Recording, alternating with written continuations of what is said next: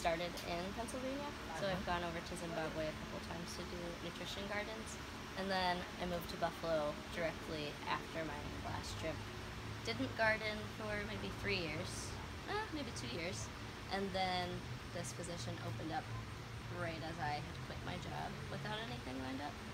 So, So the universe really- helped you yeah, out here. Everything Yeah, was this in is it. Yeah, Right, yeah. yeah. and what's your name? Lauren, Hi, Lauren. I'm Jude. Jude, nice to meet you. And Jim? Jim. Pleased to meet you. Jim and Jude, Jude and Jim. Yeah, we had a great tour of um, Mass Ave the other day and got through the gardens over there and stuff, and, And we the- knew nothing, you know. No, and, it was- and they have feral cats that live, Yeah. live with and the, the chicken coops? Yeah, Yeah, I love yeah. it over there. That's like a true It was farm. wonderful. Yeah. But what an impressive place. And hopefully it'll just keep going. Yeah. We need bigger ones. I don't think people realize how many farms there, There are are in so Buffalo. many, yeah. we're on Well, the that's what now. we're doing now. You know, nice hot day. Who needs to go boating? We're gonna go and sweat in hot houses, right? Yeah, Yeah. exactly. Get hot